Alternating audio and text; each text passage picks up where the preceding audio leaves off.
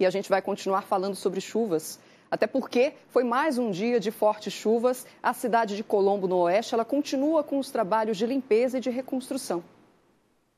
As imagens do início da manhã mostram a sujeira que ficou após mais uma noite de muita chuva que persistiu ao longo do dia. Este comerciante que mora ao lado do rio que corta o município perdeu tudo pelo segundo dia seguido. A questão de segundos aí aumentou que foi mal a pena deu para mim tirar o carro aí alagou tudo. Do lado de fora desta escola estadual dá para ter uma ideia do estrago que o alagamento provocou. São cadeiras que foram retiradas para dar início à limpeza. É dentro que a gente vê o tamanho dos prejuízos. Auditório que era utilizado para palestras da comunidade e alunos ficou cheio de lama. Os professores se uniram para fazer a limpeza. Desolador, né? O que a gente encontrou aqui foi desolador. Perdemos tudo aqui da parte de baixo da escola, né? A sala de jogos teve a parede arrancada pela água. Aqui estudam mais de 600 tudo o que está no primeiro andar foi perdido. Não se sabe quando os estudantes voltam para as salas. E a gente nunca viu isso aqui. É uma cena praticamente de guerra.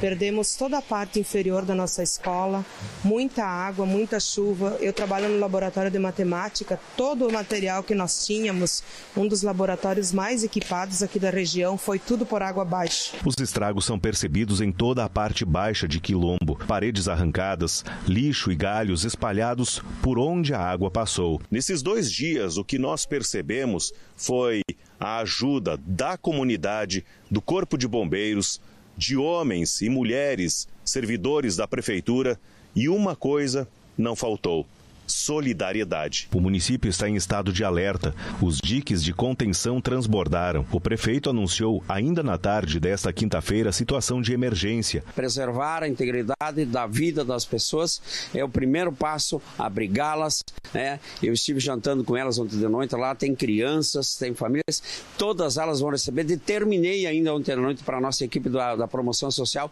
que alugue, é, caso nós vamos fazer o aluguel social por seis meses para essas famílias, a prefeitura vai bancar, depois nós vamos, se necessário, esticar esse prazo